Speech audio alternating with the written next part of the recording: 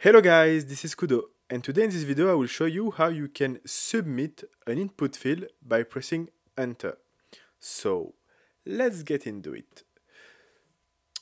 Okay, so let's create so UI. Uh, so I will need an input field basically for this video. So what I will need to do, so let's just uh, resize this. So maybe 500 by maybe 100 like that. Let's uh, change the placeholder uh, and the text. I won't make it auto size like that.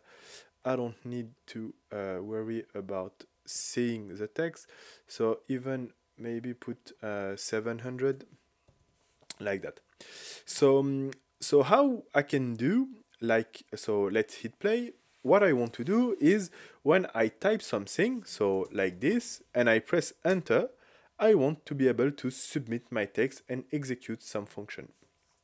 So how can I do that? So um, uh, let's dig this uh, this question. So basically, in the input field, uh, you got some uh, you will got some uh, event. So the on value change, the on engine, uh, the on edit, the on select, and on deselect. So basically the on value change will send an event when you change the value of your input field is changing. The on edit will finish when you get outside of the uh, the input field, etc. etc.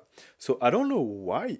Uh, basically TextMesh Pro have another one. So let's put this TextMesh Pro in in debug. So let's uh, put it this in debug and as you can see over there so if I scroll back you can see the on edit the on select the on deselect etc and we also got the on submit function so this function exists on TextMesh Pro but I don't know why uh, they private it so if someone know let me know I don't know why they, they do that and didn't you know uh, add it on uh, the event so what we will need to do, so we need to create an extension method to be able to add the sub on submit function. So, um, so what we need to do, so let's head back to my uh, util classes and let me show you what I will do. So again, if you're new from this channel, the util classes will be very nice. It's a static class. When all utility I use from my uh, project and everything uh, are over there and you can use it to to customize some stuff and make something uh, some stuff useful. So uh, what do we need to do so the first thing we need to do so let's create a using uh, tmp pro. Okay uh, and uh, because i will need it.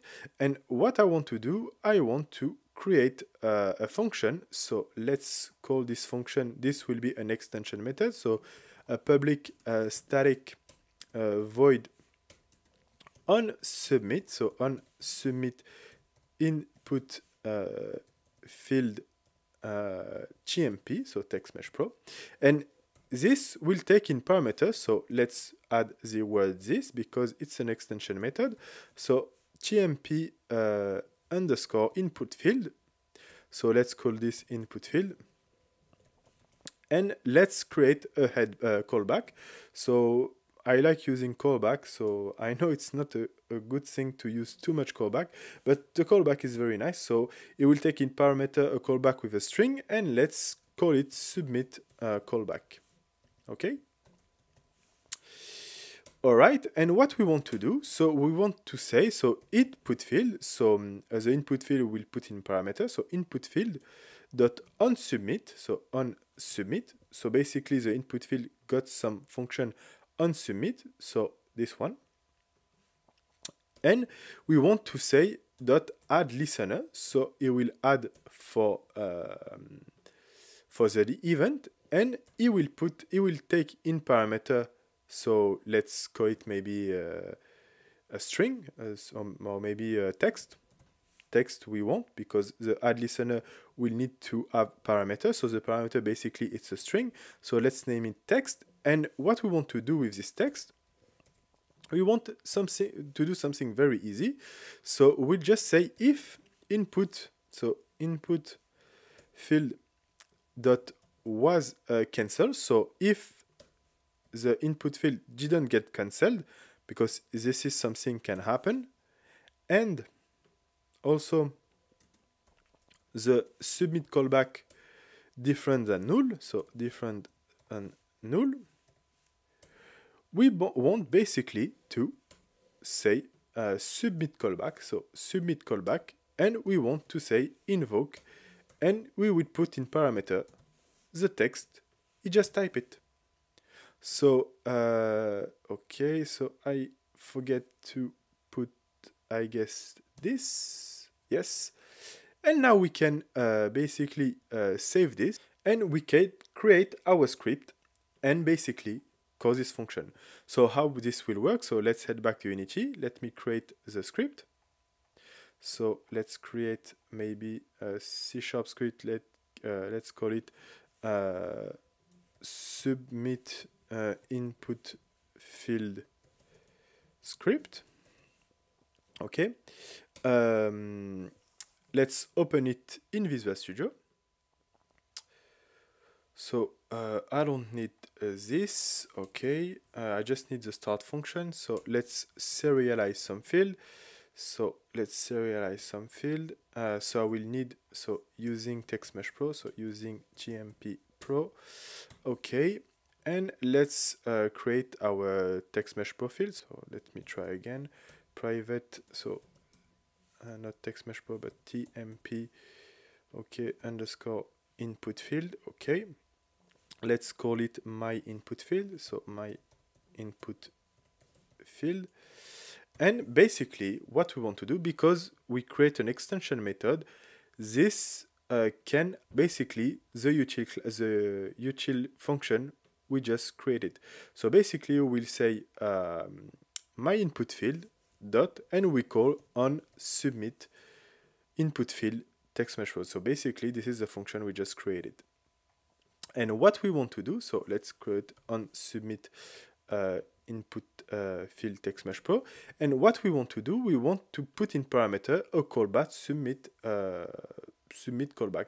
So we just need to create, so let's create a private void so uh, my uh, submit callback function, so let's submit callback function, uh, call callback function, and basically we'll take in parameter a string. So let's call my text. And what I want to do, I just want to say, so debug.log, so debug.log, the uh, current uh, text is and will say the current text is and the text will be my text so plus my text and we just need to call this function inside our input field like this so we can uh, we can save this we can head back to unity and add the script to uh, for example, for on, on my input field. So let's add components. So let's call this function, so submit input field, and it will ask an input field, so that's nice. So let's drag and drop it. Now we can save this. Let's see the console. So we can hit play. And now let's say, uh, hello, this is me, and let me press enter and as you can see, the current text is hello, this is me. So this will cancel, not cancel, but apply the enter. And if you want to head back to the Text Mesh Pro input field, you will need to click again. Uh, and we can say this is a good tutorial and let's press enter and again you will see this is a good tutorial so you can do whatever you want with this uh, so you can like and subscribe.